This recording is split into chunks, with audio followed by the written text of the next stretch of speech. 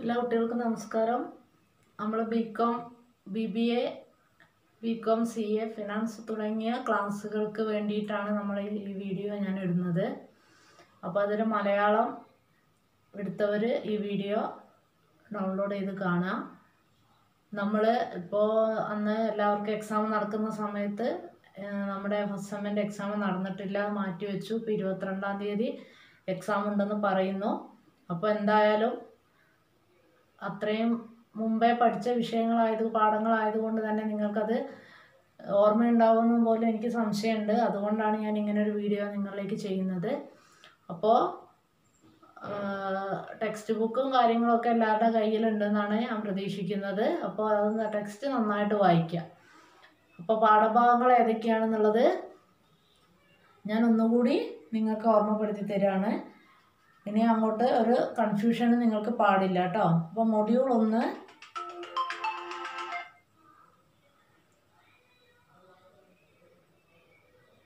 Module ഒന്ന് ലേഖനങ്ങളാണ്. ആ ലേഖനങ്ങളിൽ വരുന്നത് ഒന്ന് സൗന്ദര്യ നിരീക്ഷണമാണ്. എം പി പോളിന്റെ രണ്ട് സ്വാതിയുടെ സന്നിധിയിൽ മൂന്ന് സ്വർണ മത്സ്യങ്ങൾ നാല് മതവും മതങ്ങളും സുകുമാർ അഴീക്കോടിന്റെ മൊഡ്യൂൾ രണ്ടിൽ സൂചിമുഖി കഥകൾ മലയാറ്റൂരിന്റെ അയൽരാജാവ് എം സുകുമാരൻ ഒരിതൾ മാനസി. മൊഡ്യൂൾ മൂന്ന് നോവലാണ് നൂറ് സിംഹാസനങ്ങൾ ജയമോഹന്റെ മൊഡ്യൂൾ നാല് യാത്രാ വിവരണം കുടക് യാത്രകൾ എൻ പ്രഭാകരൻ. ഇത്രയുമാണ് നിങ്ങൾക്ക് പഠിക്കാനുള്ള പാഠഭാഗങ്ങൾ വരുന്നത്. അപ്പോൾ ഒരു മുഴുവൻ ഒരു പാഠഭാഗം വിശകലനം ചെയ്യാനുള്ള സമയമൊന്നും നമുക്കുണ്ടാവില്ല. ഒന്നാമത് ടെക്സ്റ്റ് ബുക്കുകളൊന്നും തന്നെ ഇപ്പം എന്റെ കയ്യിലില്ല. ഒക്കെ കോളേജിലാണുള്ളത്.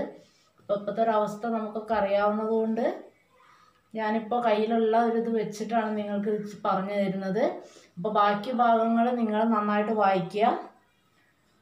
അപ്പോൾ ആദ്യം തന്നെ നമുക്ക് പഠിക്കാനുള്ളത് സൗന്ദര്യ നിരീക്ഷണമാണ് എം പി പോളിന്റെ എന്താണ് സൗന്ദര്യത്തിന്റെ അധിഷ്ഠാനം എന്നുള്ള ഒരു ചോദ്യമായിട്ടാണ് അത് വരുന്നത്. അപ്പോൾ നമുക്കറിയാം നമ്മൾ ഒരു ആൾ ഒരു സൗന്ദര്യം ദർശിക്കുന്നത് എന്തിന്റെ അടിസ്ഥാനത്തിലാണ് എന്നുള്ള ഒരു ക്വസ്റ്റ്യൻ ആണ് ആ ഒരു ലേഖനത്തിൽ ഉണ്ടാകുന്നത് അതായത് നമ്മൾ ഒരു വസ്തു ആ വസ്തുവിനെ നമ്മൾ കാണുന്നത് ചിലർ അതിന്റെ ബാഹ്യ സൗന്ദര്യമാവാൻ കാണുന്നത് ചിലർ അതിന്റെ ആന്തരിക സൗന്ദര്യമാവാൻ കാണുന്നത്. അപ്പോൾ എങ്ങനെയാണ് ഒരാൾ ഒരു സൗന്ദര്യത്തിന്റെ അധിഷ്ഠാനം കണക്കാക്കുന്നത് എന്നതിനെക്കുറിച്ചാണ് അപ്പോൾ ആത്മപ്രതീതവാദത്തെ കുറിച്ചിട്ടാണ് ആദ്യം തന്നെ പറയുന്നത്. അത് സൗന്ദര്യം എന്ന് പറയുന്നത് അവർ ആത്മവസ്തു പ്രതീതവാദികൾ പറയുന്നത്. സൗന്ദര്യം എന്ന് പറയുന്നത് ഒരു ഗുണമല്ല അത് നമ്മുടെ മനസ്സിലുണ്ടാകുന്ന ഒരു ഭാവ വിശേഷമാണ് എന്നാണ്.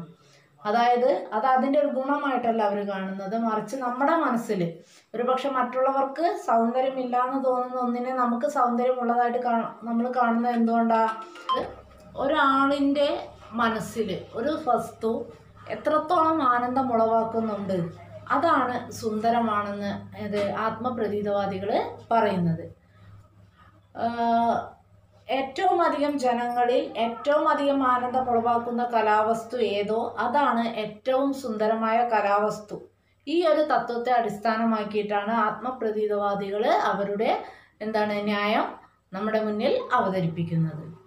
അതിൽ ജോഡ് എന്ന ചിന്തകനാണ്. ആത്മ സൗന്ദര്യത്തിന് ആസ്പദമായ ഉപാധികൾ മനസ്സാവുന്ന ആഭ്യന്തര ലോകത്തിൽ ആരായുവാൻ പുറപ്പെട്ടാൽ പല വൈഷമ്യങ്ങളും അനുഭവിക്കുമെന്ന് വിമർശിച്ചിട്ടുണ്ട്.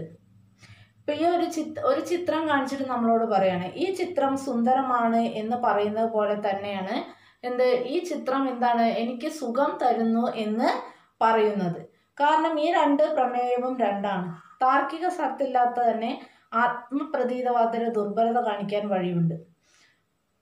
ഉദാഹരണത്തിന് പ്ലൂട്ടോ ഗ്രഹത്തെ കണ്ടുപിടിക്കാത്ത കാലത്ത് അതില്ല എന്ന് വാദിക്കുന്നത് പോലെയാണ് സൗന്ദര്യം ശാസ്ത്രീയ നിർവചനത്തിന് വിധേയമല്ലാത്തത് കൊണ്ട് അത് വാസ്തവമല്ലെന്നുള്ള വാദം. അതായത് ഒരു സാധനം ഇല്ല എന്ന് നമ്മൾ പറയുമ്പോൾ എന്താണ്? ആ ഒരു എന്താണ് വസ്തുവിന്റെ ഉള്ളിൽ അതിന്റെ സൗന്ദര്യം ഉണ്ട് എന്നുള്ളതാണ് അതിനെ നമ്മൾ എന്ത് ചെയ്യുന്നത്? അംഗീകരിക്കുന്നത്. അത് തന്നെയാണ് ആത്മപ്രതീതവാദികൾ പറയുന്ന കാര്യം. ഇനി രമണീയം മഹനീയം എന്ന് രണ്ട് തരത്തിൽ എന്തിനെ നിർവചിച്ചിട്ടുണ്ട്? സൗന്ദര്യത്തെ നിർവചിച്ചിട്ടുണ്ട്.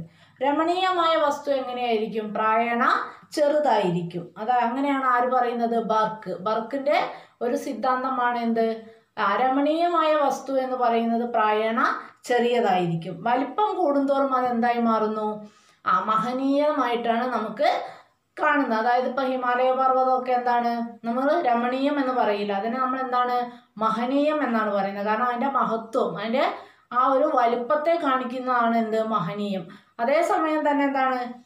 ഒരു രമണീയം എന്ന് പറയുകയാണെങ്കിൽ രമ ആ കുഞ്ഞിനെ കാണാൻ എന്തൊരു രമണീയതയാണ് എന്ന് നമ്മൾ പറയുമ്പോൾ ആ കുഞ്ഞിന്റെ ആ സൗന്ദര്യത്തെയാണ് നമ്മൾ പറയുന്നത്. പിന്നെന്താ അഴകും അരുവരുപ്പും തമ്മിൽ പൊരുത്തമില്ല. ഖനിയിൽ നിന്നെടുക്കുന്ന രത്നത്തിന് മിനുപ്പ് വരുത്തിയാൽ മാത്രമേ അത് സുന്ദരമാകൂ. ആർത്തവത്തെ സൗന്ദര്യത്തിന്റെ അഭിന്ന ഘടകമായി ബാർക്ക് കണക്കാക്കുന്നു. ഇനി കുരിശ് അതായത് ചില എന്താണ് നേർരേഖകൾ അതേമാതിരി വളഞ്ഞുള്ള രേഖകൾ ഈ രേഖകളൊക്കെ തന്നെ എന്താണ് ആ ചിലത് സൗന്ദര്യത്തിൽ കണക്കാക്കപ്പെടുന്നില്ല. അപ്പൊ കുരിശ് അല്ലേ? കുരിശ് എന്ന് പറയുന്നത് എന്താണ് അത്ര അഴകുള്ള ഒരു ആകൃതിയായിട്ടല്ല പറയുന്നത്. എന്നാൽ താജ്മഹൽ രമണീയമോ മഹനീയമോ എന്നാണ് ബർക്കിനുണ്ടാവുന്ന സംശയം. വലിപ്പം കൊണ്ട് എന്താണ്? അത് മഹനീയമാണ്. പിന്നെന്താണ്? അതിന്റെ ഘടകങ്ങളുടെയൊക്കെ പൊരുത്തം കൊണ്ട് അത് രമണീയമായിട്ടാണ് തോന്നുന്നത്. പിന്നെ ഏറെക്കുറെയുള്ള ദുർബലത കണ്ണു മഞ്ഞളിപ്പിക്കുന്ന വർണങ്ങളുടെ അഭാവം വർണങ്ങളുടെ നാനാത്വം സ്വച്ഛമായ വെളിച്ചം ഇങ്ങനെ പല ഭൗതിക ഗുണങ്ങളും സൗന്ദര്യത്തിന് ആധാരമായി സങ്കല്പിക്കപ്പെട്ടിട്ടുണ്ട് പിന്നെ ഹെർബർ സ്പെൻസറിന്റെ കൃതികളിലും അതുമാതിരി ഭൗതികവാദത്തിന്റെ പരിഷ്കരിച്ച രൂപം തന്നെയാണ് കാണുന്നത് എന്ന് ഇദ്ദേഹം പറയുന്നുണ്ട്. അതായത് ഭംഗിയുള്ള നിലയിലുള്ള ഇരിപ്പിലും നടത്തത്തിലും മറ്റും എന്താണ്? ശ്രമത്തിന്റെ അഭാവം ഉണ്ടെങ്കിൽ അതായത് നമ്മൾ സ്വാഭാവികമായിട്ട് നടക്കുന്നതാണെങ്കിൽ അതിനൊരു സൗന്ദര്യം ഉണ്ട്. പക്ഷെ നമ്മളതെന്താ കുറച്ചും കൂടി ഒരു ശ്രമകരമായിട്ട് നമ്മളത് ചെയ്യുമ്പോൾ അതിന്റെ ആ സൗന്ദര്യത്തിന് മാറ്റം സംഭവിക്കുന്നു. പിന്നെ അഭൗതിക മണ്ഡലത്തിലേക്ക് കടന്നാൽ പ്രപഞ്ചത്തിൽ കാണുന്ന സൗന്ദര്യം എല്ലാം പരമമായ സൗന്ദര്യത്തിന്റെ നിഴൽ മാത്രമാണെന്നാണ് പ്ലേറ്റോ സങ്കല്പിക്കുന്നത് പ്ലേറ്റോ പറയുന്നത് എന്താണ്? ആ എല്ലാം എന്താണ് ഒന്നിന്റെ ഒരു എന്താണ് നിഴൽ സൗന്ദര്യം എന്ന് പറയുന്നത് എന്താണ് ഒരു യഥാർത്ഥ വസ്തുവിന്റെ നിഴൽ മാത്രമാണെന്നാണ് അദ്ദേഹം പറയുന്നത്. പിന്നെ സുന്ദരമായ വസ്തുവിന്റെ അവയവങ്ങളുടെ യോജിപ്പിൽ നിന്നാണ് സൗന്ദര്യം ഉണ്ടാകുന്നതെന്ന് ചിലർ പറയുന്നുണ്ട്. കൃത്യമായ അളവോട് കൂടിയ അംഗങ്ങളും അവ തമ്മിൽ പൊരുത്തവും അതായത് ഓരോ അംഗങ്ങളും അവ തമ്മിലുള്ള പൊരുത്തവും ഒക്കെ ശരിയായി വരുമ്പോൾ മാത്രമേ സൗന്ദര്യം ഉണ്ടാവുകയുള്ളൂ. ഇനി ഉപയോഗത്തെ ആസ്പദമാക്കി ചിലർ സൗന്ദര്യം നിർണയിക്കുന്നുണ്ട് മയിൽപ്പീലി പൂവൻകോഴിയുടെ തലപ്പാവ് എന്നിവ അതുകൊണ്ട് തന്നെ സാമാന്യമായി സൗന്ദര്യത്തെ ഉപയോഗത്തിനും വിധേയമാക്കുന്നത് ഉചിതമല്ല. അതായത് മുള്ളമ്മന്നിയുടെ കവചം കുരങ്ങിന്റെ കൈകാലുകൾ ഇവയെല്ലാം സുന്ദര വസ്തുക്കളുടെ കൂട്ടത്തിൽ ആരും പെടുത്താറില്ല. എന്നാലോ? അതൊക്കെ അതിന് ഉപയോഗമുള്ള സാധനങ്ങളാണ് അല്ലെ? കൈകാലുകൾ അതിന്റെ ശരീരമൊക്കെ. പക്ഷെ അതെന്താ? ആ അത് സൗന്ദര്യമുള്ളതായിട്ട് നമ്മൾ കണക്കാക്കുന്നില്ല. എന്നാലോ മയിൽപ്പീലി മയിലിന്റെ പീലി അതുമാതിരി പൂവൻകോഴിയുടെ തലപ്പാവൊക്കെ എന്താണ്? അതിന്റെ ഒരു അവയവം തന്നെയായിട്ടാണ് വരുന്നത്. പക്ഷേ അതെന്താണ്? അതിന് സൗന്ദര്യം വർദ്ധിപ്പിക്കുകയാണ് ചെയ്യുന്നത്. ഇനി കാവ്യ സൗന്ദര്യത്തിന്റെ സാമാന്യ ലക്ഷണങ്ങളായി പല ഗുണങ്ങളും ആലങ്കാരികന്മാർ വിശകലനം ചെയ്തിട്ടുണ്ട്. ശ്ലേഷം പ്രസാദം സമത സമാധി മാധുര്യം ഓജസ്. ഇതൊക്കെ ടെക്സ്റ്റിനകത്തുണ്ട്. നിങ്ങൾ അതൊന്ന് വായിച്ചാൽ മതി കേട്ടോ പിന്നെ സജീവമായ ഒരു മനോവ്യാപാരമാണ് എന്ത്? സൗന്ദര്യം എന്ന് പറയുന്നത്. അതൊരു നിർജീവമായ ഗുണമായിട്ടല്ല കാണുന്നത്. പിന്നെ ചിലത് സുന്ദരമെന്നും മറ്റു ചില അസുന്ദരമെന്നും നാം തീർച്ചപ്പെടുത്തുന്നു. അതിനെ നാം സൗന്ദര്യബോധം എന്ന് വിളിക്കുന്നു. നമ്മുടെ ഉള്ളിലുള്ള സൗന്ദര്യബോധത്തെ അറിയുന്നത് കൊണ്ടാണ് നമ്മൾ എന്ത് ചില വസ്തുക്കൾ സൗന്ദര്യമുള്ളതാണെന്നും ചിലത് സൗന്ദര്യം ഇല്ലാത്തതാണെന്നും നമ്മൾ പറയുന്നത്. അപ്പൊ ഇത്രയും കാര്യങ്ങളൊക്കെ തന്നെയാണ് ആദ്യത്തെ എന്താണ് സൗന്ദര്യത്തിന്റെ അധിഷ്ഠാനം എന്ന് പറയുന്ന ലേഖനത്തിൽ പറയുന്നത്. കൃത്യമായിട്ടുള്ള കാര്യങ്ങൾ അറിയണമെങ്കിൽ നിങ്ങൾ ടെക്സ്റ്റ് നന്നായിട്ട് വായിക്കണം. ഞാൻ പാഠഭാഗമൊക്കെ ക്ലാസ്സിൽ നന്നായിട്ട് വായിച്ചു തന്നതാണ്. പിന്നെ ഞാൻ ഇതിന്റെ ഒരു പി ഡി എഫ് കൂടെ നിങ്ങൾക്ക് ഇതിന്റെ കൂടെ അയച്ചു തരുന്നതായിരിക്കും. അപ്പോൾ അത് ഇതും അതും കൂടി വെച്ചിട്ട് നിങ്ങൾ നന്നായിട്ട് വായിച്ചു കഴിഞ്ഞാൽ പരീക്ഷയ്ക്ക് പഠിക്കാനുള്ള ഭാഗങ്ങൾ കിട്ടും. പിന്നെ ഒരു കാര്യം നിങ്ങൾ പ്രത്യേകം ശ്രദ്ധിക്കേണ്ട എന്താണെന്ന് വെച്ചാൽ ആദ്യത്തെ ഒന്ന് മുതൽ പതിനഞ്ച് വരെയുള്ള ക്വസ്റ്റ്യൻസ് വൺ വേർഡാണ് അല്ലേ? അപ്പോൾ നമുക്ക് ഓപ്ഷൻസ് ഒന്നും ഉണ്ടാവില്ല. അത് നിങ്ങൾ പഠിച്ച് അപ്പോൾ അതെങ്ങനെയാണ്? നിങ്ങൾ കൃത്യമായിട്ട് ടെക്സ്റ്റ് വായിച്ചെങ്കിൽ മാത്രമേ നിങ്ങൾക്ക് അതിന്റെ ആൻസേഴ്സ് എഴുതാൻ പറ്റുള്ളൂ കേട്ടോ. അപ്പോൾ ടെക്സ്റ്റ് നന്നായിട്ട് നിങ്ങൾ കൃത്യമായിട്ട് ഓരോ വരി വിടാതെ നിങ്ങൾ വായിച്ചിരിക്കണം. എങ്കിൽ മാത്രമേ നിങ്ങൾക്കത് എന്ന് ക്വസ്റ്റ്യന് ആൻസർ ചെയ്യാൻ പറ്റുള്ളൂ. ഈ ഒരു ക്ലാസ് കേട്ടത് കൊണ്ടോ ടെക്സ്റ്റ് അല്ലെങ്കിൽ ഈ ഒരു പി ഡി എഫ് വായിച്ചത് കൊണ്ടോ നിങ്ങൾക്ക് അതിന്റെ ഗുണം കിട്ടുമെന്ന് തോന്നുന്നില്ല. അപ്പോൾ നന്നായിട്ട് നിങ്ങൾ ടെക്സ്റ്റ് വായിക്കുക തന്നെ വേണം. അടുത്ത പിന്നെ എളുപ്പമുള്ള പാടാണ് സ്വാതിയുടെ സന്നിധിയിൽ എന്ന് പറഞ്ഞാൽ എന്താണ് ഗർഭശ്രീമാൻ എന്നറിയപ്പെടുന്ന സ്വാതി തിരുനാളിനെ കുറിച്ചിട്ടുള്ള ഒരു ലേഖനമാണ്. അവിടെ എന്താണ് കവി അല്ല നമ്മുടെ ഈ എഴുത്തുകാരൻ എത്തുന്നതും അല്ലേ? പണ്ട് കാലത്ത് രാജാക്കന്മാരുടെ ഭരണകാലത്ത് ആ ഞങ്ങൾക്ക് ഇങ്ങനെ ഒരു രാജാവ് ഉണ്ടായിരുന്നു സംഗീതത്തെയും അതുപോലെ തന്നെ എന്താണ് ആ രാജ്യത്തെയും ഒരുപോലെ സ്നേഹിച്ചിരുന്ന ഒരു രാജാവ് അല്ലേ? രാജാക്കന്മാരിൽ കലാകാരനും കലാകാരനിൽ രാജാവും എന്നാണ് അദ്ദേഹത്തെക്കുറിച്ച് പറയുന്നത്. അപ്പോൾ അത് നന്നായിട്ട് വായിക്കുക അതിനകത്ത് ഒരുപാട് എഴുത്ത് അന്നത്തെ സംഗീതജ്ഞരുടെ പേരുണ്ട് അവരുടെ സംഭാവനകളുണ്ട്. അപ്പോൾ ആ കാര്യങ്ങളൊക്കെ നിങ്ങൾ നന്നായിട്ട് വായിക്കണം. പിന്നുള്ളത് സ്വർണ മത്സ്യങ്ങളാണ് അത് കുറച്ചൊന്ന് ശ്രദ്ധിക്കേണ്ട ഒരു വിഷയ ഒരു പാഠഭാഗമാണ്. നമ്മുടെ വിമർശകരെ കുറിച്ചിട്ട് പറയുന്ന ഒരു പാഠഭാഗമാണ് സ്വർണ മത്സ്യങ്ങൾ നിരൂപകര്.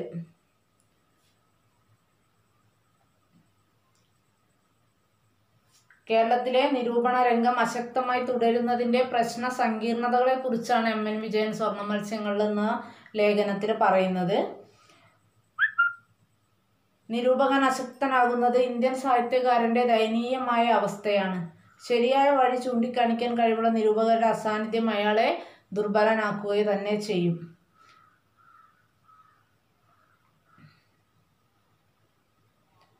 അതായത് കവികൾക്ക് മൃത മൃത്യുതുല്യരായ സുഖനിദ്രയിൽ മുഴുകാൻ. അതായത് എന്താണ്? ഒരു സമയത്ത്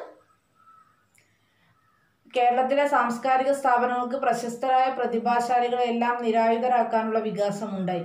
സ്ഥാപനങ്ങൾ വെച്ചു നീട്ടുന്ന സുഖ സൗകര്യങ്ങളിൽ അധികാരത്തിൽ അവർ ആയുധമില്ലാത്ത പോരാടാൻ അറിയാത്ത അടിമകളായി മാറി.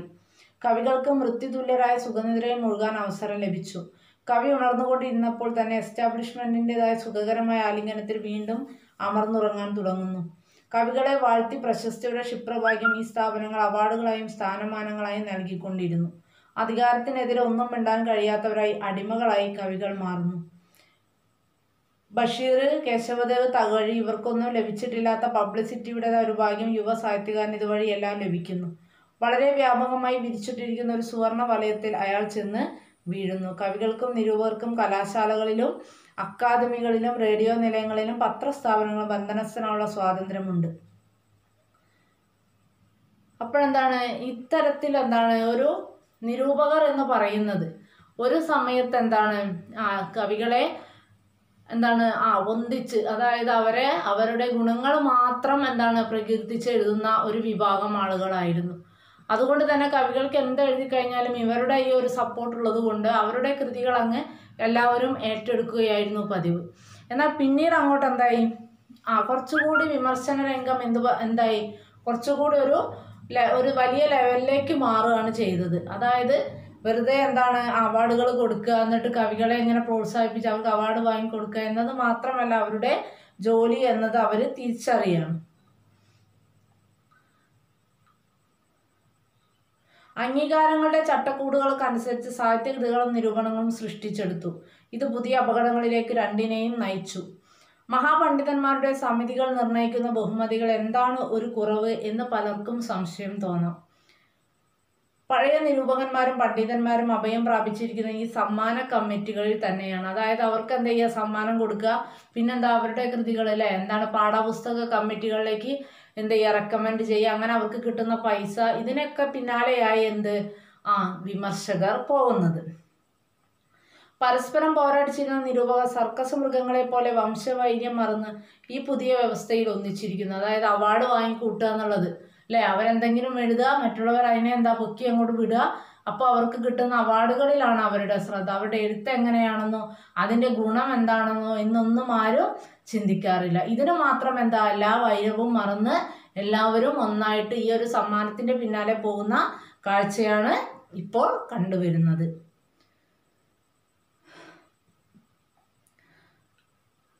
പ്രസാദകന്റെ നിരൂപണ സാഹിത്യത്തിന്മേലുള്ള താല്പര്യത്തിന് പിന്നിലുള്ള ശക്തി സർവശക്തനായ പാഠ്യപുസ്തക വ്യവസായം തന്നെയാണ്. സാഹിത്യ വിമർശനമാണ് ഉത്തമഗദ്യം എന്ന തെറ്റിദ്ധാരണ നിലനിൽക്കുന്നിടത്തോളം കാലം അതങ്ങനെ തുടരുകയും ചെയ്യും. നിരൂപകനോട് ടെക്സ്റ്റ് ബുക്ക് വ്യവസായം പലതും ആവശ്യപ്പെടുന്നുണ്ട്. തനിക്കറിയാത്ത കാര്യങ്ങൾ നിരൂപകൻ എഴുതേണ്ടി വരുന്നു. ഇങ്ങനെയുള്ള പ്രബന്ധങ്ങൾ നിരൂപണത്തെ പോഷിപ്പിക്കുന്നുണ്ടെന്ന് പറഞ്ഞുകൂടാ. മാത്രമല്ല ഇവ പരിമിതമായ ദൂരക്കാഴ്ച കൊണ്ട് നിർദ്ദന്തവും നിരുന്മേഷവുമായി തീരുന്നു. യുവ നിരൂപകൻ പോലും തന്റെ രണ്ടാമത്തെ പുസ്തകം ടെക്സ്റ്റ് ബുക്കായി വരും എന്ന് പ്രതീക്ഷിക്കുന്നു.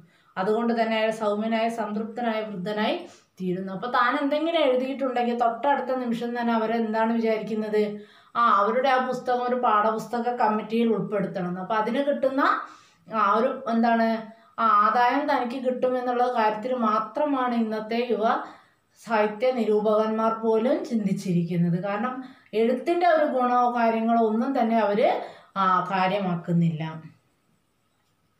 നോവൽ എഴുത്തുകാരെയും നാടകക്കാരെയും നിരൂപകന്റെ ഉദാസീനത ബാധിച്ചിട്ടില്ല. അവർക്ക് അവരുടേതായ ഒരു സാമാജിക വൃദ്ധമുണ്ട്. അതിൽ അധികം നിരൂപകരില്ല. എന്നാൽ കവിതയുടെ അവസ്ഥ അതല്ല. നിരൂപകരില്ലാതെ ഷണ്ടത്വത്തിലേക്ക് എത്തിയത് കവിതയാണ്. അതുകൊണ്ട് മുക്തിമാർഗം അവർ തന്നെ കണ്ടുപിടിച്ചു. നിർമ്മാതാക്കൾ തന്നെ വിമർശരാകുക. സൃഷ്ടാക്കൾ തന്നെ ഉപഭോക്താക്കളാവുക എന്നതാണ് ഈ മുക്തി മാർഗം. അപ്പോൾ ചില ഇതിലൊക്കെ എന്താണ് ഈ വിമർശകരില്ലാത്തത് കൊണ്ട് തന്നെ അത് നല്ല രീതിയിൽ മുന്നോട്ട് പോകുന്നുണ്ട്. എന്നാൽ കവിതയിലൊക്കെ ഒരാ ആരെങ്കിലും ഒരാൾ ഒരു കവിത എഴുതിയിട്ടുണ്ടെങ്കിൽ ഉടൻ തന്നെ വരികയായി നിരനിരയായിട്ട് ആ അതിന്റെ വിമർശനങ്ങൾ. അതുകൊണ്ട് തന്നെ ആ കവിത അവർ എഴുതി എഴുതി എന്താക്കുന്നു? ആ ഒന്നിനും കൊള്ളാത്തതാക്കി മാറ്റുന്നു. അല്ലെങ്കിൽ ഒരു ഗുണവും ഇല്ലാത്തതിനെ ഏറ്റവും നല്ലതാക്കി മാറ്റുന്നു. അപ്പോൾ നമ്മുടെ വിമർശകരുടെ എന്താണ് കവിതയെ അല്ലെങ്കിൽ കഥയെ സമീപിക്കുന്ന രീതി ഒന്ന് മാറ്റേണ്ടതുണ്ട് എന്നാണ് ഈ ഒരു ലേഖനത്തിലൂടെ എം എൻ വിജയൻ പറയുന്നത്. പിന്നെ മതവും മതങ്ങളാണ് സുകുമാർ അഴീക്കോടിന്റെ അത് നമ്മൾ പറഞ്ഞതാണ്. മതങ്ങൾ തമ്മിലുള്ള കാര്യങ്ങളൊക്കെ കുറിച്ച് നമ്മൾ കുറേ പറഞ്ഞിട്ടുണ്ട്. നമ്മുടെ എന്താണ് മതകലഹങ്ങളൊക്കെ ഒഴിവാക്കാൻ നമ്മുടെ നേതാക്കളും ഭരണകൂടവുമാണ് എല്ലാം ചെയ്തു ചെയ്തുകൊണ്ടിരിക്കുന്നത്.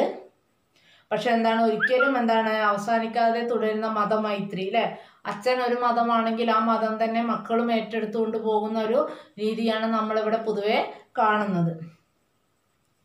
പ്രധാനപ്പെട്ട മൂന്ന് മതങ്ങളുടെയും പണ്ഡിതന്മാരെ വിളിച്ച് പ്രസംഗിപ്പിക്കുകയാണല്ലോ. ഈ പ്രസംഗങ്ങൾക്ക് അന്യമതക്കാർ കുറവ കൂവാത്തത് കൊണ്ട് മതസൗഹാർദ്ദം ഉറപ്പായെന്ന് നാം കരുതുന്നു. ആരും അങ്ങോട്ടും ഇങ്ങോട്ടും കൂവാതിരിക്കുമ്പോൾ നമ്മളെന്താ വിചാരിക്കുക? ആ മതസൗഹാർദ്ദമായിരുന്നു എന്നാലോ ഈ ഒരു ഇത് കഴിഞ്ഞ് പുറത്തെത്തി കഴിഞ്ഞാൽ ആ കാരണങ്ങൾ അങ്ങോട്ടും ഇങ്ങോട്ടും പറഞ്ഞ് അവർ തമ്മിൽ തല്ലുകയാണ് ചെയ്യുന്നത്.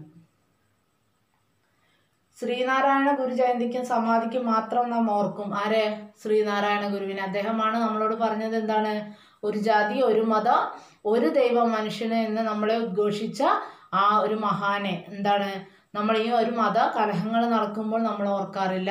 മറിച്ച് ആകെ നമ്മൾ ആ ഒരു അവധി കിട്ടുന്ന രണ്ട് ദിവസങ്ങളായിട്ട് മാത്രമാണ് ഇന്ന് നമ്മൾ അതിനെ കണക്കാക്കുന്നത്. തീരാത്ത അരട്ടാണ് ഒരു എന്ന് ചേർത്ത് അന്വേഷിക്കുമ്പോൾ മിക്കവർക്കും ഉണ്ടാകുന്നത് ഇത് തീരുന്നത് എന്താണ്? ഒരു മതം ഒരു ദൈവം. ഈ ഒരു മതം എന്ന് പറയുന്നത് ഓരോ മതക്കാരും വിചാരിക്കുന്നത് തന്റെ മതമാണെന്നാണ്. അല്ലേ ഇപ്പോൾ ഒരു മതം എന്ന് പറയുന്നത് ഹിന്ദുക്കൾ വിചാരിക്കും തന്റെ മതത്തിനോട് ചേരാനാണെന്ന് ക്രിസ്ത്യൻസ് വിചാരിക്കും അവരോട് ചേരാനാണെന്ന് മുസ്ലിംസ് വിചാരിക്കുന്നു അവരോട് ചേരാനാണ്. അപ്പോൾ ഈ ഒരു ഏതാണ് എന്നുള്ളതിനെ കുറിച്ചിട്ടാണ് ആ ചർച്ചകൾ ഇന്നും നടക്കുന്നത്. മതം പൈതൃകമാകുമ്പോൾ മതകലഹം പാരമ്പര്യത്തിന്റെ സ്വഭാവമായി തീരുന്നു അതാണ് ഞാൻ പറഞ്ഞ അച്ഛനും ആ അമ്മയും ഒരു മതമാണെങ്കിൽ എന്താ സ്വാഭാവികമായും കുട്ടികളും ആ മതം തന്നെ ഏറ്റെടുക്കുക.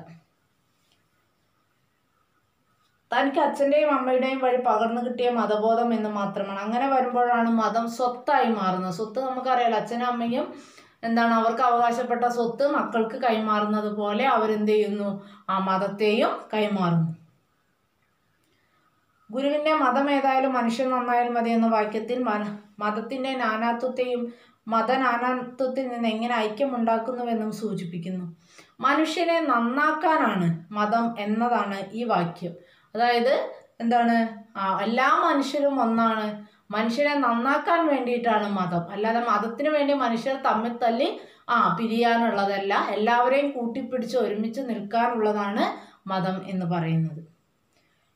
മതത്തിൽ നിന്ന് അങ്ങേയറ്റം പ്രതീക്ഷിക്കുന്ന കാര്യമാണ് മനുഷ്യൻ നന്നാകുന്നു എന്നത്. പേര് കൊണ്ട് ഹിന്ദുമതം ബുദ്ധമതം ക്രിസ്തുമതം മുഹമ്മദ് മതം എന്നിങ്ങനെ വളരെ വ്യത്യാസങ്ങൾ കാണാം. ഈ മതങ്ങളെല്ലാം മതങ്ങൾ എന്ന മൗലിക രൂപത്തിൽ മനുഷ്യനെ കഷ്ടപ്പെടുത്തുന്നു. മനുഷ്യനെ ഉത്കർഷത്തിൽ എത്തിക്കാൻ വേണ്ടിയാണ് ഈ മതങ്ങളെല്ലാം ആവിർഭവിച്ചത്. അപ്പോൾ എല്ലാ മതങ്ങളുടെയും എന്താണ് ആത്യന്തികമായ ലക്ഷ്യം എന്ന് പറയുന്നത് മനുഷ്യന്റെ നന്മയാണ്. അത് മനസ്സിലാക്കി കഴിഞ്ഞാൽ നമ്മുടെ നാട്ടിലുള്ള പകുതി പ്രശ്നങ്ങൾക്ക് തന്നെ കാരണം എന്താണ്? ഇല്ലാതാവും എന്നാണ് ഇദ്ദേഹം പറയുന്നത്. എല്ലാ മതങ്ങളിലും നല്ലതും പരസ്പര തുല്യവുമായ ഹൃദയമുണ്ട്. അത് മനുഷ്യനെ നന്നാക്കുന്നു. മതം ഏതായാലും മനുഷ്യനെ ചീത്തയാക്കാതിരുന്നാൽ മതി എന്ന് പറഞ്ഞിരിക്കാനിടയുണ്ട്. എന്നാൽ അത് പറഞ്ഞ ശ്രീനാരായണ ഗുരു ഇന്ന് വന്നിട്ട് എനിക്ക് നമ്മളോട് പറയുകയാണെങ്കിൽ എന്താണ്? ആ നല്ല നല്ല മനുഷ്യരെ കൂടി ചീത്തയാക്കാതിരുന്നാൽ മതി എന്ന് മാറ്റി പറയാനുള്ള സാധ്യത ഉണ്ട്. ഇത്രയും കാര്യങ്ങളാണ് അതിനകത്ത് പറയുന്നത്. പിന്നെ വരുന്നത് സൂചിമുഖി കഥകളാണ്. മലയാറ്റൂർ രാമകൃഷ്ണനാഥ് അറിയാലോ ആ അദ്ദേഹം ഒരു എന്താണ് ആ റിട്ടയർഡ് ലൈഫ് എന്താ ആസ്വദിക്കുന്ന സമയത്ത് ഒരു പക്ഷി നിരീക്ഷണം ഒരു ജോലിയായി ഏറ്റെടുക്കുകയും ഒരു പക്ഷിയുടെ പിന്നാലെ പോയിട്ട് ആ ഭാര്യ വേറെ ഏതോ പെണ്ണിനോട് എന്തോ പറയുകയാണെന്ന് പറയുന്നതും അങ്ങനെ എന്താണ്? ആ ഒരു കുടുംബ കലഹത്തിൽ ചെന്ന് അവസാനിക്കുന്നതുമായിട്ടുള്ള കാര്യങ്ങളാണ് അതിനകത്ത് പറയുന്നത്. പിന്നെ അയൽ രാജാവ് അതുപോലെ എം. സുകുമാരന്റെ ഒരു രാജാവിനെ തേടിയിട്ടുള്ള ഒരു കഥ. പിന്നെ മാനസിയാണ്. ആ കഥകളൊക്കെ നിങ്ങൾ തന്നെ വായിക്കാൻ ഞാൻ പറഞ്ഞു തന്നിട്ടുണ്ട്. പോരാത്തതിന് ഞാൻ ഈ നോട്ട്സ് അയച്ചു തരും. പിന്നെ ഉള്ളത് ഒരു സുവർണ സിംഹാസനങ്ങൾ എന്ന് പറയുന്ന ലേഖനമാണ്. സുവർണ സിംഹാസനങ്ങൾ എന്ന് പറയുന്ന ലേ ലേഖനമല്ല നോവലാണ് ജയമോഹന്റെ ഒരു ദളിത് യുവാവ് എന്താണ് ആ കളക്ടറായിട്ട് മാറുന്ന ഒരു പ്രമേയമാണ് അതിനകത്തുള്ളത്. അപ്പോൾ സ്വാഭാവികമായും എന്താണ് ഈ ദളിത് വിഭാഗക്കാർ എത്ര പഠിച്ച് എത്ര വലിയ ജോലിയിൽ കയറിയാലും സ്വാഭാവികമായും ബാക്കിയുള്ളവർ മുഴുവൻ എപ്പോഴും അവരെ അടിച്ചമർത്തിക്കൊണ്ടാണ് അപ്പോൾ ആ ഒരു ഇതിൽ പറയുന്നൊരു നോവലാണ്. അതൊരു എത്രയും എളുപ്പത്തിൽ നിങ്ങൾക്ക് വായിച്ചെടുക്കാവുന്ന ഒരു നോവലാണ്.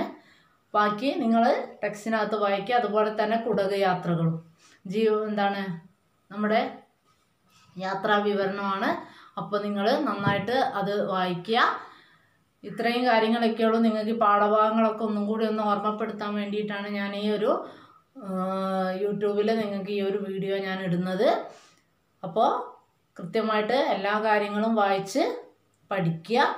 പോരാത്തതിന് ഞാനിടുന്ന ഒന്ന് രണ്ട് വീഡിയോസും അതുമാതിരിയുള്ള പി ഡി എഫ് നോട്ട്സും നന്നായിട്ട് പഠിച്ചോളൂ കേട്ടോ. മലയാളമാണ്. എന്തെങ്കിലും ഒന്ന് വായിച്ച് എന്തെങ്കിലും എഴുതി കഴിഞ്ഞാൽ മാർക്ക് കിട്ടും എന്നുള്ള ധാരണയൊന്നും ആർക്കും വേണ്ട. നമുക്കറിയാം. ഞാൻ പലതവണ നിങ്ങളോട് പറഞ്ഞതാണ് ആ ഒരു ധാരണ വെച്ച് നിങ്ങൾ പരീക്ഷ എഴുതാൻ ദയവ് ചെയ്ത് മലയാളം പരീക്ഷ എഴുതാൻ നിങ്ങൾ പോവരുത്. നന്നായിട്ട് വായിച്ചിട്ടുണ്ടെങ്കിൽ മാത്രമേ നമുക്ക് മലയാളം നന്നായിട്ട് എഴുതാൻ പറ്റുള്ളൂ. അപ്പോൾ ഒരിക്കൽ കൂടി ഞാൻ എല്ലാവർക്കും നന്നായിട്ട് പരീക്ഷ എഴുതാൻ പറ്റട്ടെ എന്ന് ഞാൻ നിങ്ങ- നിങ്ങളെല്ലാവരെയും ആശംസിക്കുകയാണ്. അതുപോലെ തന്നെ ആ ടീച്ചർക്ക് ഒരു പേരുദോഷം വരാത്ത രീതിയിൽ എല്ലാവരും നന്നായിട്ട് പരീക്ഷ എഴുതി നല്ല മാർക്കോട് കൂടി പാസ്സാവണമെന്നും കൂടി ഒരു അപേക്ഷയുണ്ട്. അപ്പോൾ നിങ്ങളെ ടീച്ചേഴ്സ് നിങ്ങൾക്ക് ഈ ഒരു ലിങ്ക് നിങ്ങൾക്ക് അയച്ചു തരും. നിങ്ങൾ കാണുക. പോരാത്ത പി ഡി എഫുകളൊക്കെ നന്നായിട്ട് വായിച്ച് പഠിക്കുകയും ചെയ്യാം ശരി.